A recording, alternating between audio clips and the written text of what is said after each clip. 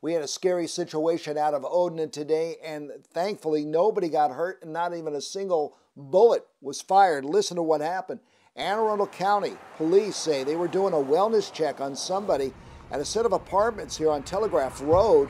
And that's when they say they when they got there, the person refused to cooperate, and eventually they called a negotiator in.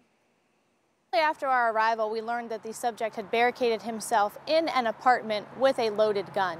Um, this was extremely concerning to us as it's an apartment building. It's very heavily populated, um, and we know that there's apartments below and to the side uh, of this particular apartment.